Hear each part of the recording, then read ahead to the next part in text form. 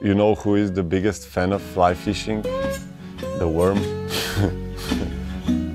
Stanislav Mankovic is een vliegvisser. En samen doorkruisen we zijn geboorteland Bulgarije. Stanislav die gaat proberen mij alles over de kunst van vliegvissen bij te brengen. Some people like go hiking, for example, Yeah. and they don't understand fishermen. They ask me, "What are you doing here all day on this lake? Isn't it bored and boring?" Yeah. Uh, we saw so much by going uh, to the next summit over there, uh, but I asked them then, did you saw how this uh, big trout chase the small minnows and they try to escape in this morning? And they say, we didn't saw that.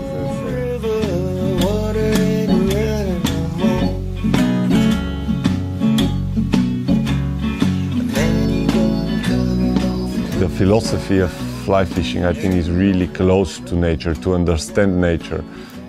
What is hatching, why the fish is taking this or that at this certain moment, the river level, what is flowering at the moment, everything is important. I think you, you should really understand nature to be a good fly fisherman. Still a fish to appreciate. So there really are people who are addicted to fly fishing, Oh, yes. like a There drug. are like a drug. It's like uh, I'm addicted too, of course. Yeah, but you have made your job out of it, Uh, I made a job out of it. Yeah, it's guiding people. guiding people. It's my uh, my way to spend more time on the river and still make a living. Dat herken ik. De nood om het water op te zoeken. Ik vis al sinds dat ik heel jong was. Waar dan mijn werk of mijn vakanties mij ook brengen. Overal ga ik gaan vissen. Op alle soorten water en de meest uiteenlopende vistechnieken. Ik heb nooit voor één specifieke manier van vissen gekozen, zoals de meeste vissers. En daarom zoek ik andere vissers van een andere discipline om bij te leren. I always remember this that I was uh, with my mother on an airplane and I fell asleep like this and I dreamt of this uh, calm water on a lake and a fly slowly falling down and the fly fell down on the water surface and this big trout came up slowly and took the fly and I struck and I hit my mother. You're low of energy, you can dig a little bit and then you can put your hands on top and they spit the acid and then you can inhale it and that gives you a little bit of strength. Over my hands. now,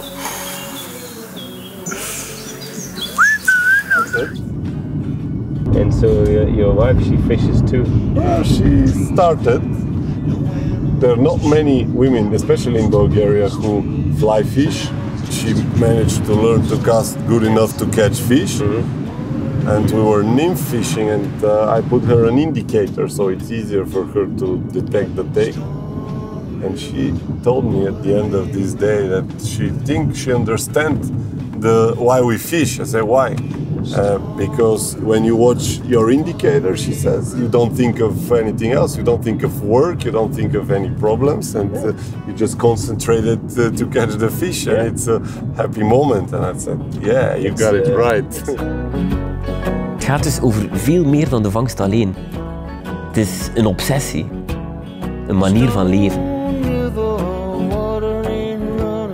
When I was sitting in class, if, if it was boring for me, I sometimes uh, thought about fish or I draw flies, and I always carry this little monoline in my pocket so I can tie some knots. I practice knots on. I can say I'm pretty fast now with uh, tying knots. yeah, it's always been fishing, fishing, fishing. Sometimes it get it annoys the other people around me, and I understand it, but it's uh, part of me. So can't really change it. I'm definitely not trying to.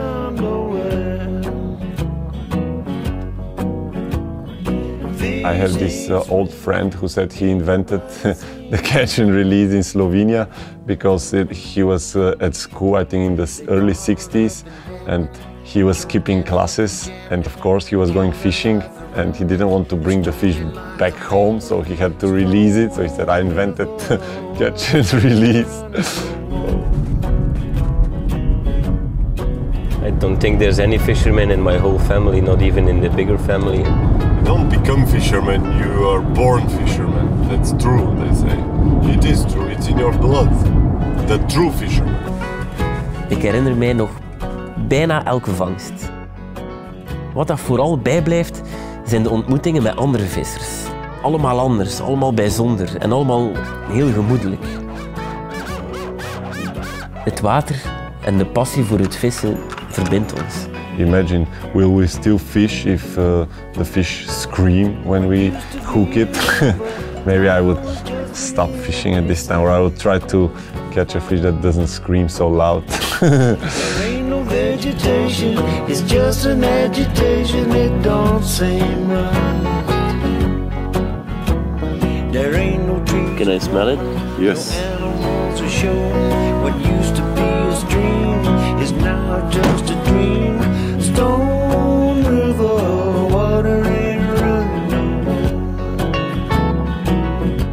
When you look at, the average, it's about uh, 150 days a year for the last 15 years. So it's every third day. yeah, my friend Jim from UK says happy days, Stan, happy days. What's going on? So it's happy days. Yeah, most of the time it's happy days. Happy days. Zo is het. Ik ben al benieuwd wie dat de volgende gaat zijn die ik tegenkom aan de waterkant. Wat ik ervan ga kunnen leren over vissen, maar ook over hun manier van denken en leven.